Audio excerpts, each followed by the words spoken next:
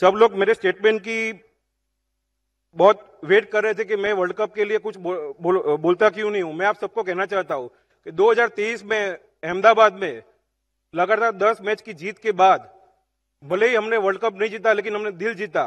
लेकिन मैं आपको एक प्रॉमिस करना चाहता हूँ कि रोहित शर्मा की कप्तानी में 2024 में बारबाडोस में हम ज़रूर भारत का झंडा गाड़ेंगे। जय हिंद जय भारत जय जय गरवी गुजरात।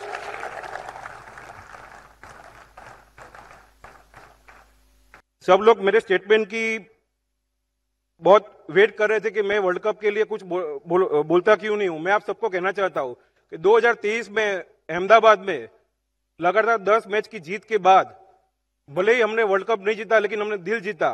लेकिन मैं आपको एक प्रॉमिस करना चाहता हूँ कि रोहित शर्मा की कप्तानी में 2024 में बारबाडोस में हम ज़रूर भारत का झंडा गाड़ेंगे।